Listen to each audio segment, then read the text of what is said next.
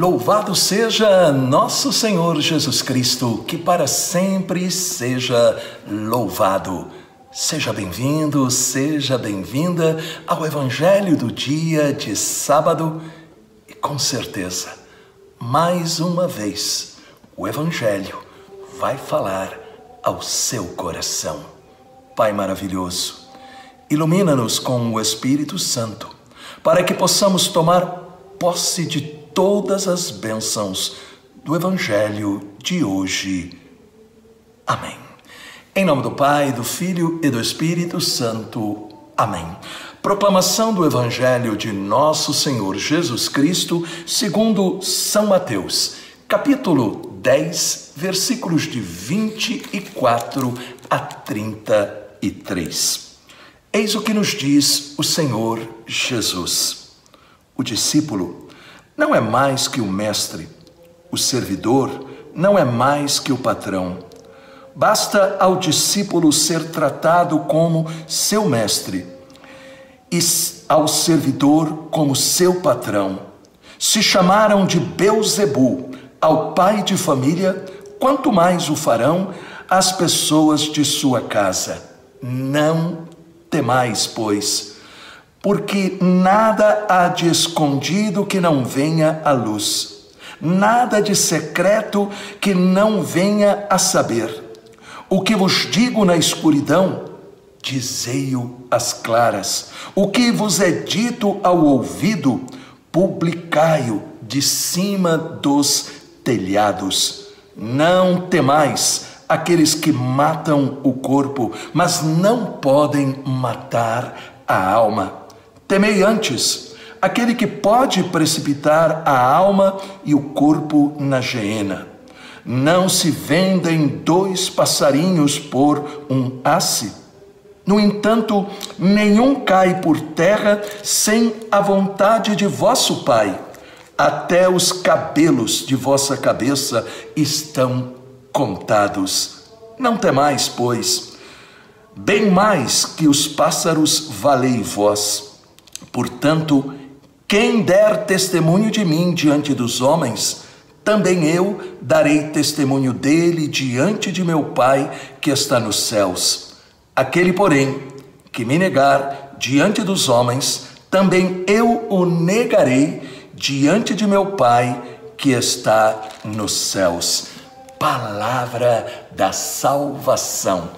Glória a vós, Senhor. O Evangelho começou com uma palavra fortíssima e estimulante de encorajamento. Porém, nem sempre a gente percebe isso. Jesus nos disse aí em Mateus 10, 24: o discípulo não é mais que o mestre.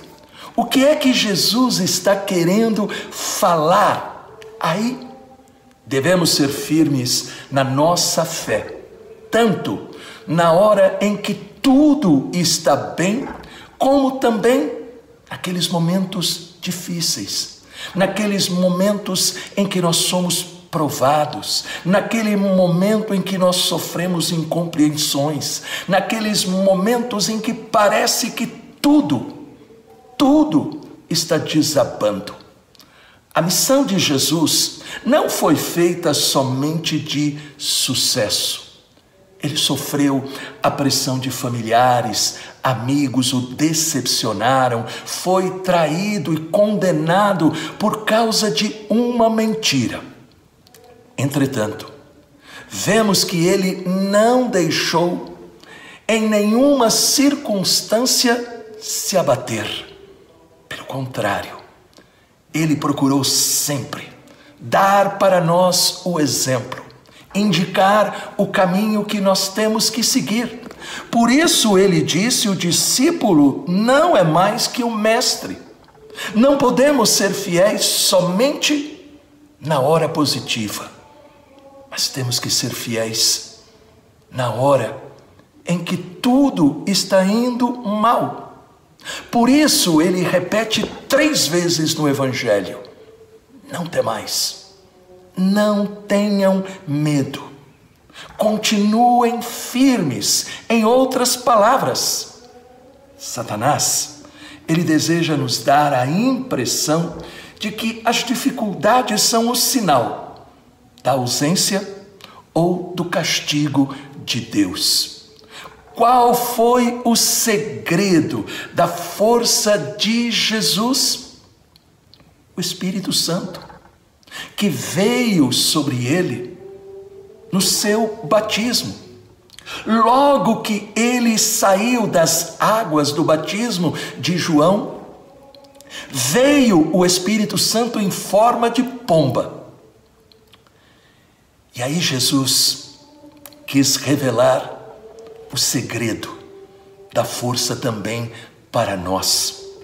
Se nós queremos atravessar todas as circunstâncias boas e ruins da vida, permanecendo nele, Jesus Cristo, se nós queremos receber aquela coroa da vitória que o livro do Apocalipse promete para aqueles que perseverarem, nós precisamos nos deixar guiar, iluminar, conduzir, inspirar pelo Espírito Santo. Sim, o Espírito Santo é o poder que Jesus prometeu que estaria para consolar, para que a gente nunca se sentisse sozinho, para nos defender e para ativar a nossa fé para que os milagres possam acontecer. Por isso, neste momento, se você estiver atravessando alguma circunstância difícil. Deixe a palavra de Jesus, não tenha medo, entrar profundamente no seu coração. Deixe esta palavra se tornar o remédio para curar esta ferida e dar o impulso para que você reaja. Sim, se você estiver vivendo dentro da sua casa, no seu ambiente de trabalho, no relacionamento com as pessoas ou até dentro da igreja, algo que tem feito você balançar na sua segurança, ouça a palavra de Jesus e creia nela. Não tenha medo. Não tenha medo, porque Jesus venceu e você com ele vence também. Porque em você está o mesmo Espírito Santo que veio sobre Jesus e que Jesus prometeu que nos daria e que você recebeu na graça do seu batismo. Por isso eu estendo a minha mão agora e eu peço ao Pai, em nome de Jesus, que o Espírito Santo possa realmente colocar no seu coração. A palavra não tenha medo. Que nas horas difíceis você possa ouvir Ele, Espírito Santo, dizendo: Não tenha medo, coragem, eu estou com você. Em nome do Pai, do Filho e do Espírito Santo. Amém.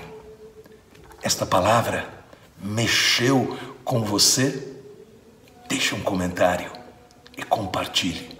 Quantas pessoas precisam ser curadas por esta mensagem?